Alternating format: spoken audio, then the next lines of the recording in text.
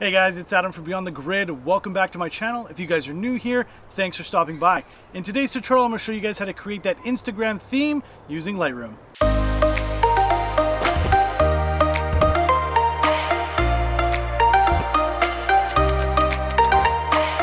So for today's tutorial, I've collaborated with Katelynn Ansari to show you guys what a consistent Instagram theme looks like.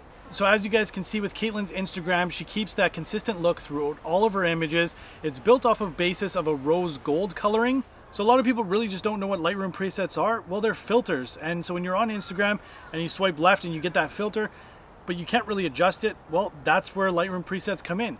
They allow you to create a basis to work off of, adjust the exposure, adjust the temperature based on the photo you've taken, and create that consistent look all across. So let's jump into this tutorial and we're gonna show you guys how to create a preset and use it for your photos.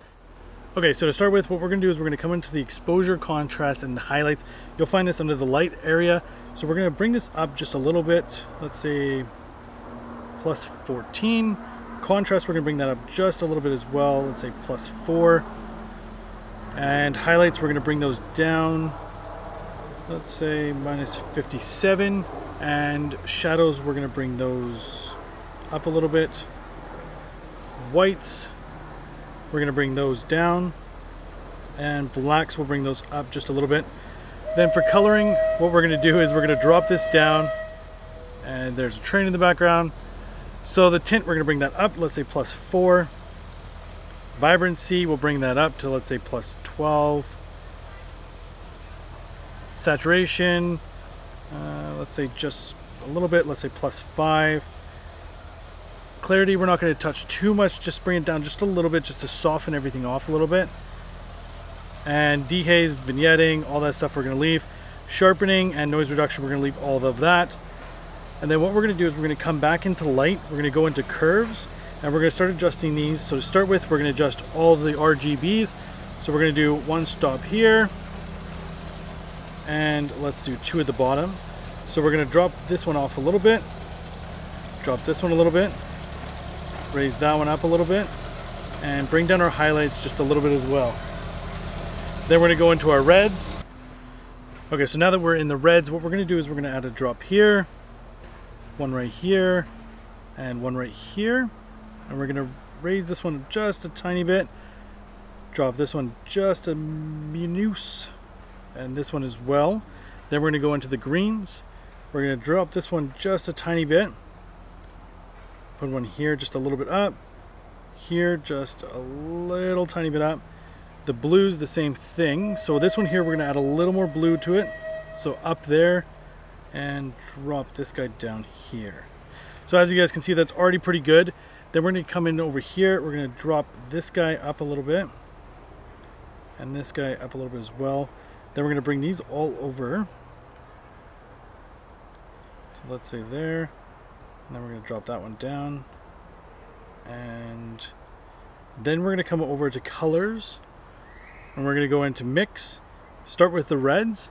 So we're going to bring up our reds just a little bit. Let's say plus 11. Saturations, let's drop this down.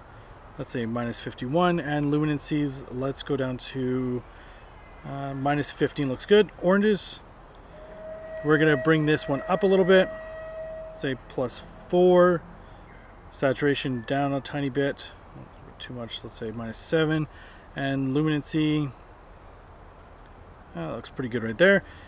Then we're going to go over to your yellows. We're going to drop this one down to, let's say, plus 17 raise it up at the saturation plus 3 and luminancy drop that down to let's say plus 30 or minus 36 greens we're going to raise this up say plus 15 actually it's a little bit much. Let's go plus 10 saturation let's drop that down. And luminancy let's raise that to 10 then we're going to go to our aquas we're going to raise this up so we get a lot more blues out of this so let's say 30 and we'll drop that minus 30 Luminancy, let's go up a little bit.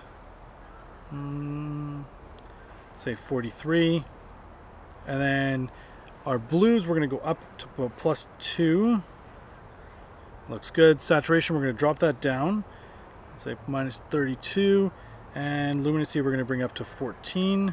Then we're going to go over to our, uh, I think it's purples, might be magentas, I don't know. Uh, we're going to bring this down Actually, let's bring it up to about plus 4. Saturation, minus 11. And luminancy down to, let's say, minus eh, 19 looks good. And then our purple or magentas, whatever the one this one is, we're going to bring this up to, let's say, plus 4. Luminancy down to, again, 11.